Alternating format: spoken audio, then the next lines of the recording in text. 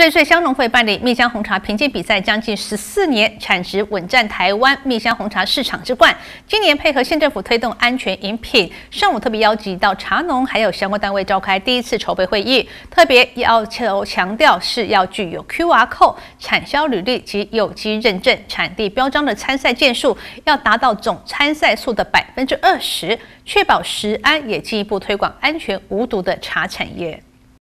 县政府农发处、瑞穗乡农会总干事黄胜煌共同召开一百零九年度花莲蜜香红茶评鉴比赛第一次筹备会。除了瑞穗五克茶农、玉里赤科山以及富里六十诞生的茶农，也都踊跃出席参加。符合资格去推算，今年可以报名的点数，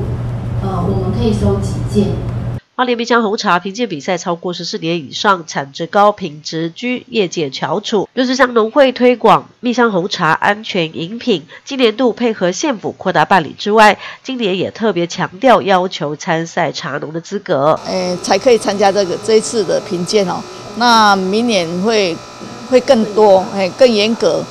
必须到百分之五十。那今年是暂定百分之二十。参赛资格要求具 QR code。产销履历以及有机认证、产地标章的参赛件数必须达到总参赛数的百分之二十。控管参赛品质的同时，也进一步加强提升推广花莲安全无毒的蜜香红茶产业。好，那去年跟今年的来比，去年大概可能现场也有亲自到南港展览馆去。好，那就整个展览展览馆，去年刚好因为也没有武汉肺炎疫情的影响，所以。呃，整个不管是上到中央还是地方的长官，其实对于我们花莲的展馆，